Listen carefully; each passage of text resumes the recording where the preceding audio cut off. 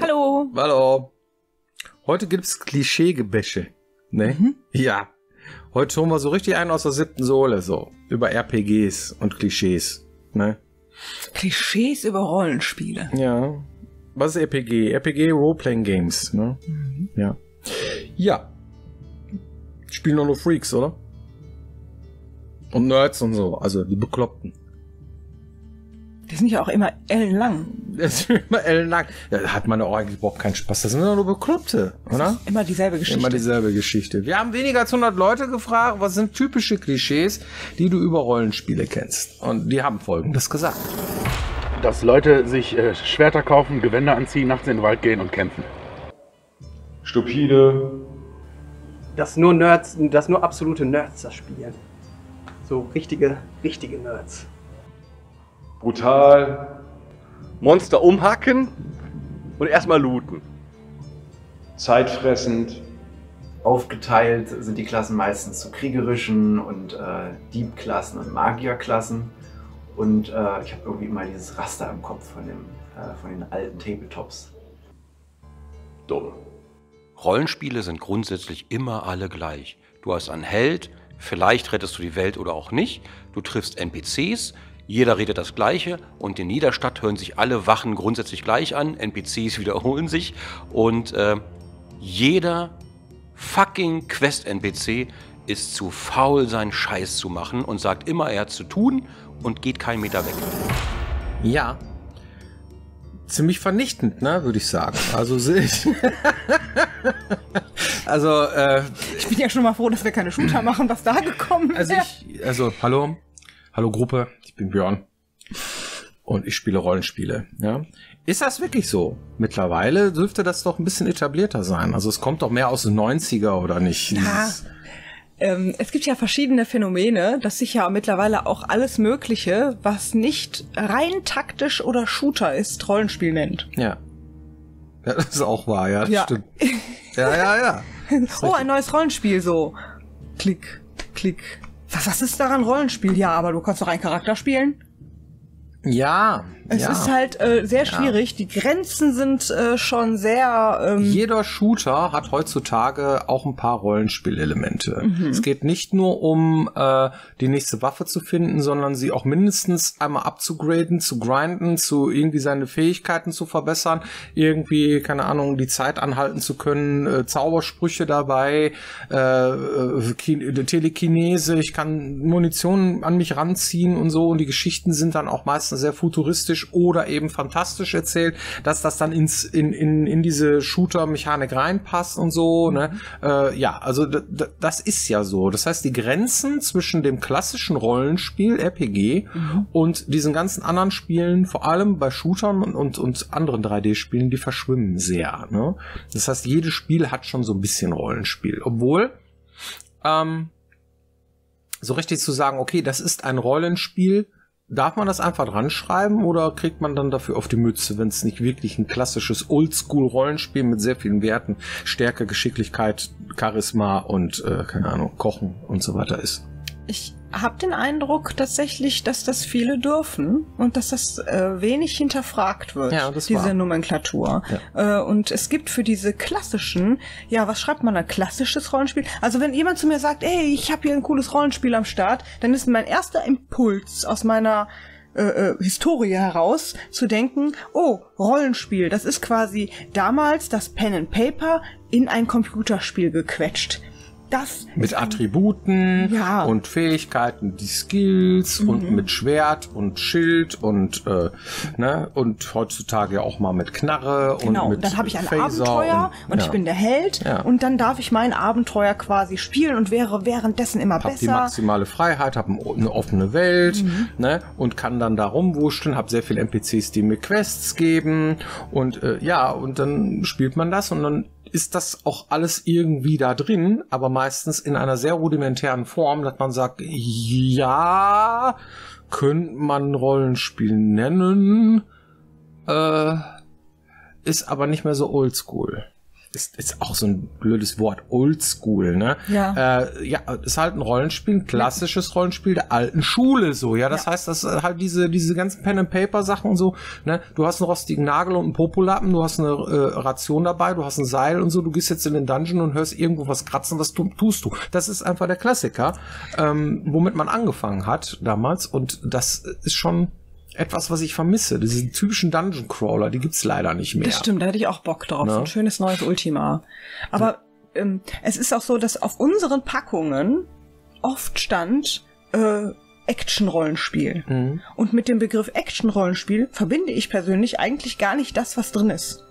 Ne, denke ich, ist unser Spiel ein Action-Rollenspiel? Ja klar, du kannst allen aufs Maul hauen. Aber irgendwie denke ich mir so, ja, aber es ist doch ein, es ist doch ein waschechtes Rollenspiel. Ich kann doch alles machen in dem Spiel. Während ich irgendwie in so einem, Ja. drückt dir jemand irgendwie so ein Prey in die Hand, würdest du sagen, ja, ist halt ein Rollenspiel-Shooter oder was? Ja. Ja. Das sind keine NPCs, die die Quests geben. Doch, gibt's wohl. Und man hat auch Monster und man kann sich grinden und hin und her. Doch, gibt's wohl. Also ich würde Prey auf jeden Fall. Es hat sehr viele Rollenspielelemente. Hat sehr viele Ja, aber wann ist die Grenze erreicht, dass man Rollenspiel sagt oder nicht? Mhm. Ja, das ist sehr schwierig. Wie seht ihr das denn? Was ist für euch denn jetzt ein Rollenspiel und was nicht? Darf man alles irgendwie, was so ein paar Rollenspielelemente hat, irgendwie auch Rollenspiel nennen oder nicht? Ja, ähm, schwierige Frage, finde ich. ich auch, ja. Ne? Weil die haben ja auch recht. Oft. Ne? Trotzdem ist es halt so, für mich ist es schwierig, irgendwie das passende Game für mich zu finden, weil sehr viele Begrifflichkeiten rumkursieren und so. Und wenn man sagt, ja, das Spiel ist wie das und das, dann sage ich, ah, okay, dann kann ich mich drauf einlassen. Dann ist das so und so viel Rollenspiel, so und so viel Prozent Shooter, äh, so und so viel Prozent Adventure, was für mich so die klassischen Dinger sind, die mich interessieren so, ja, weil Sportspiele interessieren mich nicht, Rennspiele interessieren mich nicht, äh, äh, Multiplayer meistens auch nicht, so, ja, das ist so, so Singleplayer mit diesen drei Elementen so, kann man darauf runterbrechen. So, das sind so meine, meine Favorites. Und wenn, wenn ich sehe, okay, wie viel Prozent davon ist drin, dann mache ich mir ungefähr ein Bild davon, welche Spiele ich dann da irgendwie zugrunde lege, sehe dann einen Trailer, worum es inhaltlich geht und dann weiß ich, ob das Spiel was für mich ist oder nicht. Und dann ist es eigentlich auch unerheblich, ob da jetzt Rollenspiel draufsteht oder nicht. Ja, weil der Begriff Rollenspiel impliziert, dass äh, ein paar Elemente halt von dem große Auswahl an Waffen, was weiß ich, irgendwie die epische Geschichte. Was ist das denn jetzt genau? Was sind die Kriterien für Rollenspiele? Für Klischees, ne? Das ist äh, nicht so einfach mittlerweile. Also Begrifflichkeit ist schon sehr verzerrt heutzutage. Ja, stimmt. Aber man kann sagen, bei den klassischen ist es auf jeden Fall so. Ja. Hier kennt man sehr einfach. Ne? Aber oft ist es auch negativ behaftet, ne? Das heißt, wenn ich jetzt sage, oh, es ist ein, ein richtig schönes klassisches Rollenspiel, ist es dann haupt, äh, automatisch äh, die langweilige Geschichte von irgendeinem so äh, Pansel, der irgendwo aufwacht, sein äh, Gedächtnis verloren hat und später irgendwie den, den Monsterkönig besiegen muss, der oben auf dem Berg irgendwie das Land vernichtet, ne, à la Herr der Ringe. Oh, hört sich spannend an. Wo kann ich das kaufen? ja, manchmal finde ich es aber auch gut. Manchmal finde ich es auch gut. Es ist auch immer die Frage, wie es das erzählt. Genau. Da bist du wieder beim Storytelling. Richtig. Ist es modern? Ist es nicht modern? Ist es altbacken? Ist es total irgendwie nur der Typ, der aussieht, um das Fürchten zu lernen? Manchmal kann das cool sein. Ja. So. Also ne? wie? Wie ist es passiert? Ja. Wie ist es erzählt? Ja. Wie spannend ist die Geschichte? Wie Ja. spannend ist die äh, ähm, Historie? Wie spannend und so weiter. Und äh, dann hast du auf einmal wieder Al Capone. Ja. Und äh, das kann man richtig gut machen, kann man aber auch richtig schlecht machen. Ähm, Ja, wenn man das kosmische Rätsel vergisst.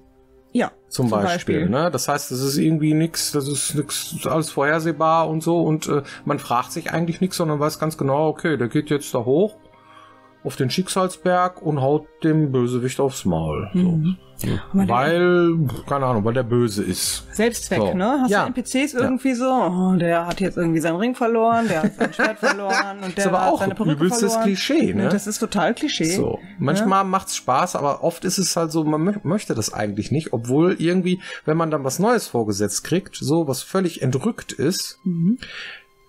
ne, du hast immer einen Endgegner, zum Beispiel, bei einem Rollenspiel. Es gibt immer einen Bösewicht, der nachher, der muss weg, ja, am Ende. Und dann muss das auch irgendwie so ein Endbosskampf sein, der muss auch herausfordernd sein, aber nicht zu schwer, dass man da irgendwie, äh, ne, man muss die Dinge, die man gelernt hat, über die Zeit hin, irgendwie anwenden können in dem Endkampf am besten, ne? Und solche Dinge. Äh, ja klar, wir haben auch mal unterschiedliche Dinge gemacht. Also wenn ihr jetzt sagen würdet, ja, okay, warum macht ihr das dann nicht so? Ja, wir haben auch mal was anderes ausprobiert in unseren Spielen. Historie. In unserer Historie so. Und das ist halt so die Essenz dabei rumgekommen. Ja, es gibt immer einen Bösewicht. Man kann es ja auch mal anders machen. Ja, ist ja ein Klischee, ne? Der Bösewicht muss nachher am Ende weg und dann ist das Spiel zu Ende. Ist das dann zu Ende? Nee, ist es nicht zu Ende. Elex zum Beispiel haben wir jetzt ein offenes Ende gemacht, das erste Mal. Ja, vorher war Piranha Bytes Bösewicht platt, war das Spiel zu Ende. Haben wir immer so gemacht. Bei Elex erst einmal nicht. Und schon geht's los. Hm, okay, der Kampf war jetzt vielleicht nicht so schwierig. Ne? Das heißt, wenn man viel explort und so, kann man dann dahin gehen und dann ist es einfacher zu meistern. Ähm, und wenn man irgendwie innerhalb von 20 Stunden irgendwie durchrascht, die Dialoge wegklickt und dahin geht und so, dann kriegst du dann doch auf die Fresse so, weil halt feste Werte und so ein Zeug. Ist aber ein Klischee. Kann man mal ein Spiel machen ohne Bösewicht? Ah, kann man bestimmt, aber ich weiß nicht, ob das die Leute dann nicht kacke finden. Ja? Weil Klischees nicht immer schlecht, will, darauf will ich hinaus, so, ne? Weil es gibt auch Dinge, die werden erwartet und wenn die nicht drin sind, dann fragt man sich, da habe ich aber irgendwie was vermisst, ohne es vielleicht sagen zu können, so, ohne zu ich wissen, ne? denke schon, dass man Klischees bedienen darf. Ne? Die Frage ist nicht ob, sondern wie. Hm. Ne? Das heißt, wenn der NPC so doof ist, dass ich dem gar nicht helfen möchte, Ach so, dann, dann, ähm, dann, dann verliert das Spiel unwahrscheinlich an, an Qualität. Ja, aber wenn ich äh, ähm, so, so vielleicht mal eine emotionale Note da reinbringe, wenn ich den, den Spieler dazu kriege, dass er Mitleid hat mit Leuten oder dass er äh, wütend ist auf, auf Figuren oder dass er, ne, das heißt, wenn ich das schaffe, den irgendwie so weit reinzuziehen, dass er wirklich irgendwie, dann hast du deine Favoriten und Leute, die du nicht magst und dann, dann bist du drin in der Geschichte. Äh, Geschichten werden auf unterschiedliche Art und Weise erzählt. Ähm, dann ist es auf einmal wieder toll und ähm, fühlt sich auch nicht an wie ein Klischee. Das Klischee ist aber auch äh, oft so, dass es so empfunden wird, aber vielleicht auch gar nicht so ist. Ne? Auch das gibt's ja. Das, ne, zum Beispiel, wir haben unterschiedliche Gilden. Die sind meistens immer zwischen den Klischees. Ja, die befinden sich immer, also es gibt die, die, die Klischee, äh, Charakterklassen sind der Krieger, ne, der Tank, der Dieb oder Mechaniker. Ich nehme die mal zusammen. Ja, also einer, der rumfruckelt, um irgendwie Sachen zu erreichen, so. Also ob das jetzt Hacken ist oder Schlösser knacken, nehme ich jetzt mal als eine der Mechaniker, der Fruckler und der irgendwie in Ecken rum Und der Magier. Schleicher und der Magier. Das sind die drei Klassen so. Und wir haben immer Charakterklassen designt, die immer irgendwo dazwischen angesiedelt sind. Das heißt, eine Charakterklasse kann immer ein bisschen Magie und ein bisschen Diebesfertigkeiten Mechanik oder so. Oder ist der totale Tank, aber kann auch irgendwie, keine Ahnung, hacken oder sowas, ja. Oder, also das heißt, man war immer irgendwie dazwischen. So diese rein, das reine Klischee bedienen, haben wir oft nicht gemacht. Unsere Magier, die haben auch immer irgendwie eine Art von Nahkampf gehabt. Ne? Das heißt, die hatten entweder einen, einen, Kampfstab oder ein Schwert oder irgendwas. Das heißt, die waren Nahkämpfer, konnten aber Magie. Also ein Kampfmagier. Wir haben äh, Diebe gehabt, die aber auch mit Pfeil und Bogen und auch mit ihrem Schwert irgendwie draufhauen konnten. Das heißt aber auch irgendwie eine Mischung daraus. Oder eben, naja, halt irgendwelche Mechaniker, die auch äh, Zaubersprüche werfen könnten, wie beispielsweise die äh, Kleriker. Ja?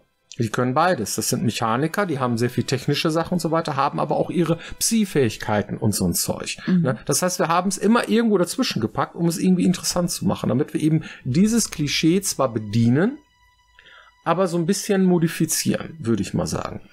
Ja, manchmal tut's einem als Spiel ja auch leid, wenn du dich für eine Sache entscheiden musst und die andere dann komplett wegfällt. Ja. Manchmal möchtest du gerne irgendwie, weil du das besser kannst oder das Spaß macht, irgendwie durchs Spiel zu schnetzeln. Aber denn gar keine Magie benutzen zu dürfen, ist dann doof. Gar nicht Schlösser knacken und hacken dürfen, ist auch doof irgendwie. Also so ein bisschen. Darum machen wir das so, wir bieten immer alles an.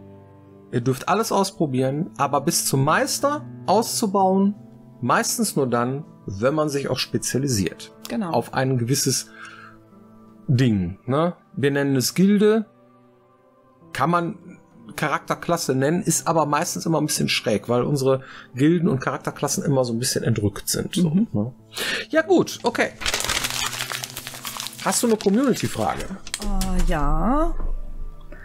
Ähm, Hier ist die Frage, könnt ihr in irgendeiner Art mitbestimmen, wie viel eure Spiele kosten und wo sie angeboten werden?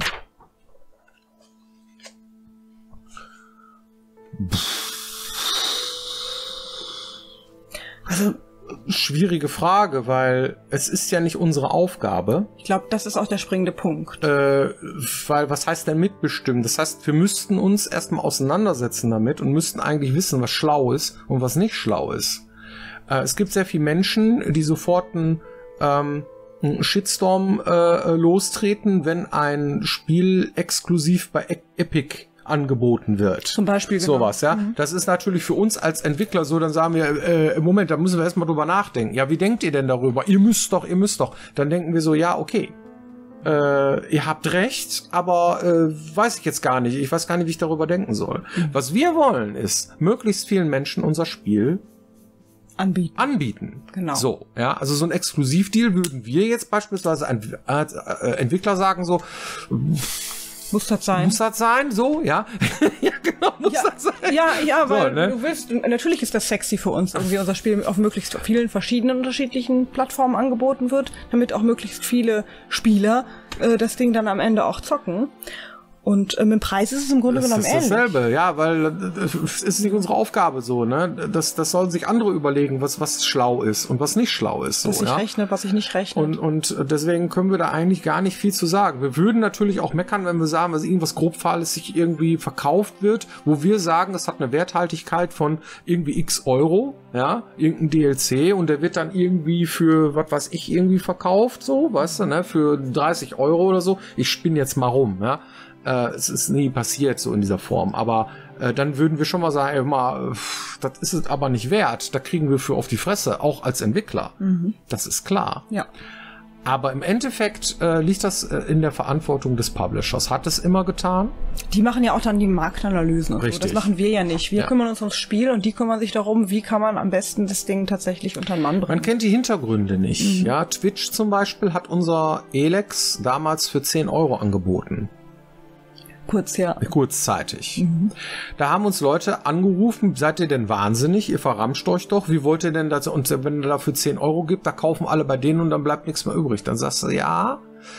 Der Hintergrund ist, Twitch wollte an einigen Stellen Werbung machen für, für die Plattform und hast du nicht gesehen und hat äh, sozusagen äh, THQ ein gewisses Kontingent abgekauft, ne? Und hat das dann halt irgendwie günstig angeboten, damit Menschen da hinkommen, um sich für die Sache, die die da bewerben wollten, zu interessieren. Es ist aber nur ein gewisses Kontingent. Nicht alle kaufen das dann da. Ne? Weil viele auch nicht davon erfahren haben oder keine Ahnung, weil das Kontingent irgendwann auf, aufgebraucht ist und so weiter und solche Dinge. Das sind so Hintergründe, die wir gar nicht wissen. Wir würden jetzt nur sehen, was, 10 Euro, das geht ja gar nicht so, nach dem Motto, ne, würden uns dann da melden und sagen, was macht ihr da und so, und dann sagen, ja, Moment, das, hat den und den Hintergrund und da, ne, ach so, ja, okay. Meistens hat es ja auch mal einen Grund. Vielleicht auch manchmal nicht, ne? Vielleicht ist man auch an einigen Stellen mal nicht so schlau, aber das können wir nicht beurteilen, was schlau ist und was nicht. Genau, ist ja auch meistens immer so die Rechnung äh, Preis gegen Reichweite. Ja. Ne? Das heißt, wenn irgendjemand für dich wirklich immens Werbung macht und damit eine viel größere Masse an Menschen erreicht und dafür ist es eine Zeit lang irgendwo günstiger, dann macht das so ein Deal vielleicht Sinn, während äh, es äh, keinen Sinn macht, irgendwie sein Spiel einfach irgendwo zu verschenken äh, oder ähm, es viel zu teuer zu machen, dass es kein Mensch mehr kaufen will. Also diese Gratwanderung, die müssen die sich dann überlegen und wir gucken, ob das sich gut anfühlt oder nicht. Also theoretisch könnten wir uns immer melden, machen wir aber meistens nicht, wenn es dafür nicht wirklich einen immensen Anlass gibt. Ja.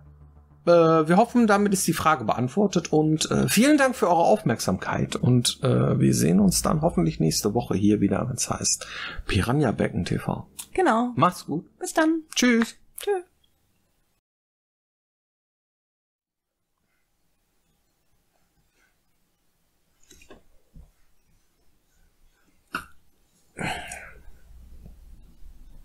Ja. Ja.